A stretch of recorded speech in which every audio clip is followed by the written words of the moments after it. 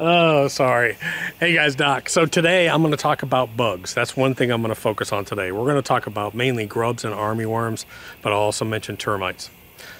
I'm then going to take you out and just, I've been shooting a lot of footage. I've been shooting a lot of footage out at the farm. We're doing the backyard reseed. We've got all kinds of stuff going on over there. So maybe after I talk about the grubs and bugs, I'll throw some of that footage up at the end. But uh, don't forget, we cover, the majority of this is covered extensively in the lawn guides. So whether you have a Bermuda, Zoysia, or cool season lawn, you can go to freelawncareguide.com and there's links to the Bermuda guide, the Zoysia guide, and the cool season lawn guide. They each have their own website. There's nothing to download, there's no apps, we don't send you emails, just use them, bookmark them and use them, and it'll explain some of this in detail. But this time of year, I'm going to warn you, this is the time of year where your bug problems start to really shine. So I would say, now I'm in Georgia, so we're warm. So in August and September is when you're really going to start to deal with army worms. You're going to really start to see army. I guarantee you half of you have army worms, don't even know it. I'll tell you about how to check for that. Almost every single person watching this video has grubs in their lawn. The problem is, is, is it a problem for you? Do you need to treat it? I'll talk about that real quick. Um, I am doing a termite treatment out at the property. Uh, maybe I'll take you out. We're getting a real big shed, custom shed, barn shed made out there. And what I want to do is I wanted to treat it. So I put down, um, we, we, I will show you how we built up the shed bottom and I'll, how we treat, I'll treat it for uh, termicides. And we are going to do a 10 year termicide treatment around the house, but I'll do that next week. So first let's talk about armyworms. So understand armyworms. Moths come into your lawn all summer, spring and summer long. They lay eggs, they lay a few hundred eggs, they turn into the armyworms, and then they start eating the grass. Armyworms don't eat roots, they eat the actual grass. So they, they move across your lawn like an army. That's where they get the name. They move across your lawn like an army and they sort of eat. How do you test and how do you know? There's two methods I like to use. Number one, take a five gallon bucket full of water, put in about a tablespoon of Dawn uh, just mix it up and then go to an area that you think you might have armyworms and just slowly dump the whole bucket and let it flood. Flood that area. And what you'll see and stare at it, and usually within 5 to 20 seconds, you'll see armyworms wiggle up. They float up. It's actually really cool. So you can go do that, make a couple of buckets and test different areas and see if you have armyworms come up. The other way that you can do this, uh, grab a bottle, one of those hose end bottles of triazicide, uh, you can get it at Lowe's. They're really cheap. They're not that expensive. Um, and then in the late afternoon or early evening, just walk around to some areas in your yard that you think look a little bit weak and spray it, spray it, spray it around. And then come back in about 5, 10, and 20 minutes and look. And you'll see ugh, army worms coming up. So that's a good indication that you need to do a full treatment. And I'll tell you the full treatment in a second. Now let's talk about grubs. So you guys know that we abandoned this yard for two months and it went absolutely to hell. I mean, the yard looked absolutely horrible. and so I told you what we did is we scalped the yard down and we're gonna push the reset button and we're gonna start it over by feeding it. Now the front yard is looking fantastic, but I did find grubs out there. And how do I know I have grubs? Because my armadillos come out and they dig in the grass. For me, it's armadillos. Some people have skunks. But the armadillos come and they dig a little hole and they get the grubs. Now, Barb had hundreds of those holes.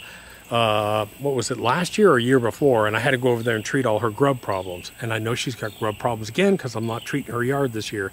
And she's using TruGreen, I think it is, and they don't treat for bugs, I don't believe. So anyways, so I saw some grub damage, so I went ahead, I told Ryan, let's get the double kill, let's put the double kill down, and we did that treatment.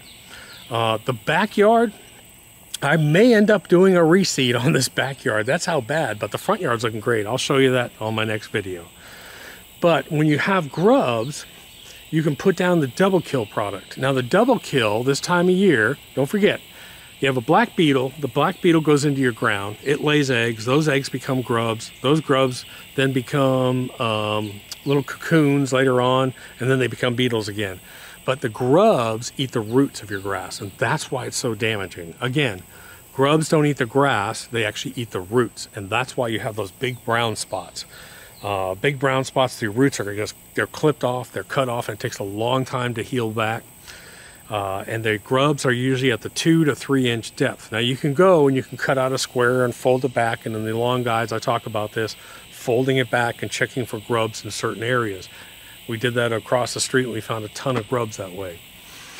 Put down the double kill, water it, water it, water it, water it, because the double kill has to get down to the grubs to kill them.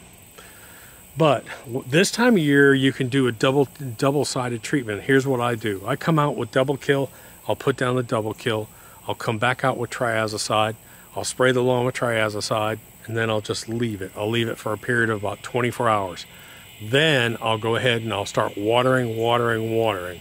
Water it in, water it in. And what ends up happening is the double kill will kill army worms while it's up top, and so will the triazicide. So you kill all your army worms, and then as everything moves down, you're going to kill all your grubs. It's a one-time, real powerful punch this time of year that really works well and will solve those bug problems. So just make sure, get the lawn guides. I talk about it extensively in there. Let me just go ahead and I'll show you what's happening out at the farm. I actually have some germination out there and just sort of run you around and show you some clips I made. Hope you enjoy it. Dot. So this is interesting. I got about seven of these trees. I'm gonna have a beaver skin hat this fall, obviously.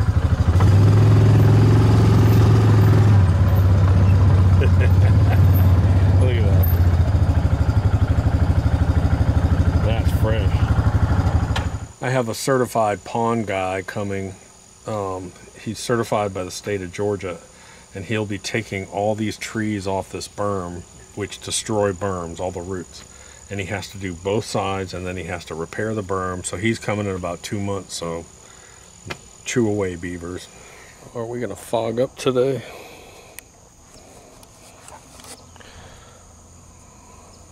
That's better. The lens is going to fog up because it's so hot and humid out here. So I put down a tall fescue mix here that is really, really shade tolerant. And I had ordered a hybrid Kentucky bluegrass, um, a specialty line, and it just didn't come in. And it finally came in yesterday. I'm like, dude, I'm, I've got little patches of germination out here. So what I'm going to do is this Kentucky bluegrass hybrid, the seed is so tiny. I mean, it's it's almost like a Bermuda seed. So I'm going to come out here and I'm going to reseed this real quick, and I'm going to lightly, lightly, um, maybe have one of the guys drag a rake over this, not to the point where I'm digging up my germination, but just sort of mixing this light seed in because, see this? I got lots of germination over in this area. I do want to put some of this KBG out, hybrid. Uh, let me show you the tag on it show you the seed. So I'm going to use my Chapin bag spreader. And the seed itself, let me grab it right here. See how fine it is compared to like a fescue, which is really big. And without spilling this, It's a hybrid Kentucky bluegrass. Anyways, I can put a link to that. Go ahead and uh, put it all out. By the way, if you don't, these are really good. This is like, um, if you have really big areas, like when I go seed the fields with clover and whatever I'm going to seed it. But this is a really good little spreader. For something really, really fine, I'm going to put it on a two. And you can see has a pretty big spro pattern.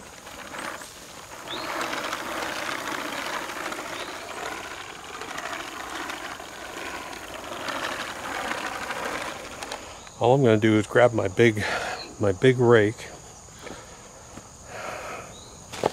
By the way, we came out this morning, we're getting ready to pour pour some cement footings on top of this. This is for the new shed. This is massive. This is a 16 by 20 platform. This is 17 tons of gravel. Uh, and my guys came out here and built this frame. It's perfectly level. And then what we're going to do is we're going to mix up um, a concrete mix.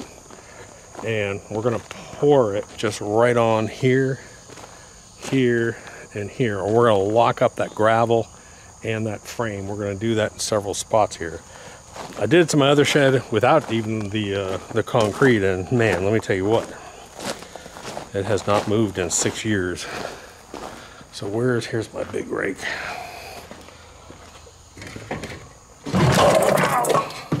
Son of a bitch, that hurt. Oh, oh, pickaxe right on the shin. So if you don't have one of these rakes, if you don't have one of these rakes, get one. Uh, get them at Lowe's, I think. They're not that expensive. But all I'm going to do is I am just going to basically just drag this whole area and just get the seed a little bit under and then I'm going to start watering.